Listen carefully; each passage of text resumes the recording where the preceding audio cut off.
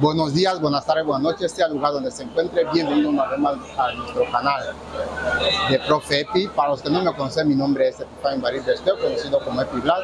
Y hoy tenemos a Miguel. Voy a explicar un poco el motivo del por qué ha elegido a como un lugar turístico y cuál es su labor en cuanto al turismo que concierna a ese ámbito de la provincia de Anobón y de la región insular nuestra.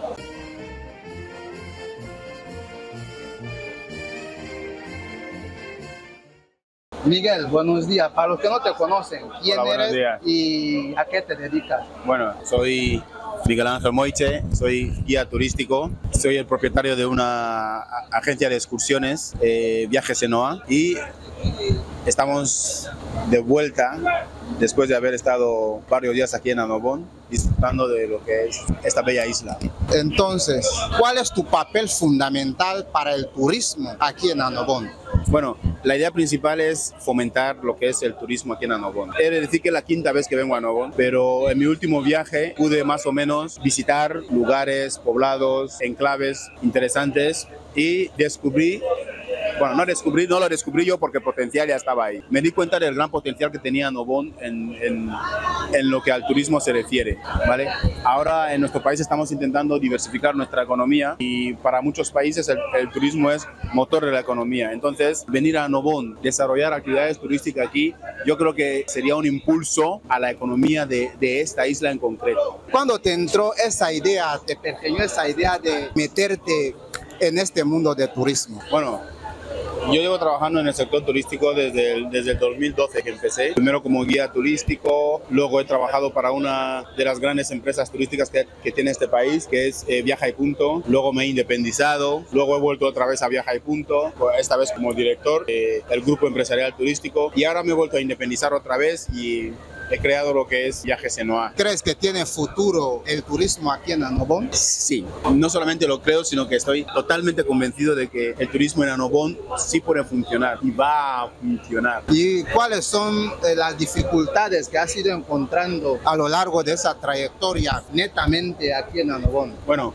eso la... sí hay. Vale, sí que hay. La principal dificultad para, para Novón es el tema del transporte, llegar hasta aquí, ¿vale? Yo antes venía a la barcaza de Lobey, a Novón, oí un montón de historias sobre la barcaza, etcétera, etcétera. Entonces quise comprobarlo yo mismo. Vine, primero vino con la barcaza, experimenté eso y bueno, más o menos he estado con turistas de diferentes lugares del mundo y de diferentes tipos de turistas. Vi en uno de mis vídeos que tengo en Instagram, donde les, les digo que vale la pena tirarse a la mar dos días o tres días para venir a Nobón. El resultado posterior es bastante positivo. El resultado es positivo. O sea, te merece la pena estar tres días para llegar hasta aquí, tres días para regresar, aunque vayas a estar cuatro o cinco días aquí. Esos cuatro o cinco días que vayas a estar aquí realmente lo vas a disfrutar, lo vas a disfrutar. Pues me, me alegro saberlo porque hay mucha gente que piensa que Anobón es un lugar de extraterrestres, la gente no le gusta venir. ¿Qué es lo que dirías a la gente que desean venir a Anobón? Primero que vengan conmigo. eso, eso ha sido bueno primero contactar con él, visitar su Instagram, visitar, eh, muy pronto va a crear página de YouTube sí. y contactar con él, puedes dejar tu contacto. Sí, sí, sí, sí, sí, básicamente lo, va, lo van a ver. En la descripción vais a ver su número de teléfono, todo lo que y, es las redes sociales y, y para que eh, podáis introducir, contactar con él directamente. Si quieres hablar de turismo en Anobón, pues aquí está la persona idónea es de fiar, es un amigo y no estoy haciendo spoiler, más bien es mejor decir la verdad. Él ha venido, ya va más de cinco veces, ya ha traído gente y yo creo que ahora que tenemos un mejor barco adecuado. Las condiciones actuales son mejores, el barco dura, dura menos, yo creo que nos sirve el hecho de que el, haya, se haya modificado tanto el barco como la frecuencia de los viajes, nos sirve bastante. Esperemos que en un futuro no muy lejano pues empiecen también los vuelos. Eso sí. ya sería Sí, si llega a los vuelos ya es el acabose. Sí. Entonces eh, yo creo que sería algo muy bueno. Ya ves el lugar donde estamos, un montón de ruido. Estamos en el barco. Estamos en el barco. La galería sí. o la terraza del barco donde puedes comprar una cervecita, venir aquí a tomar y hemos ocupado dos días para hacer ese directo.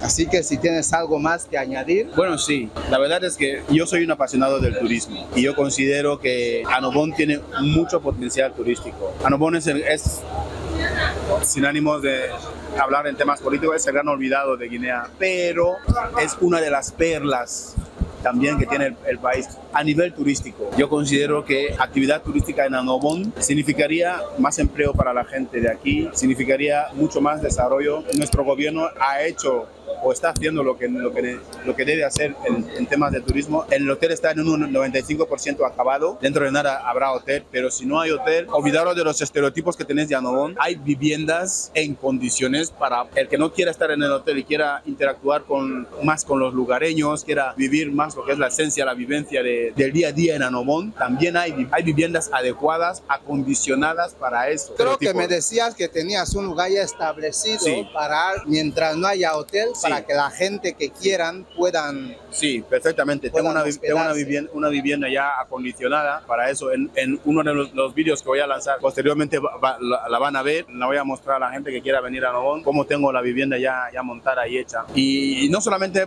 para los que mientras no haya hotel, sino que hay gente que luego hay hoteles pero prefiere estar, Sí, prefiere sí. estar en viviendas. que esté Hay- más libre, más salir libre, sí. cuando quiera. Sí, ahora mismo en los últimos años Airbnb ha, ha significado un boom en el mundo. Eh, Las viviendas, las viviendas en alquiler para, via- para viajeros ha significado un boom en el mundo y aquí hay un montón de, hay un montón de viviendas en Anobón que están en buenas condiciones, pero que los dueños no viven aquí y de- a ellos les interesaría alquilar. Es otro problema que hay. alquilarme, alquilármelas, chicos. Yo, yo quiero vivir, sigo queriendo viviendas para traer a gente, ¿vale?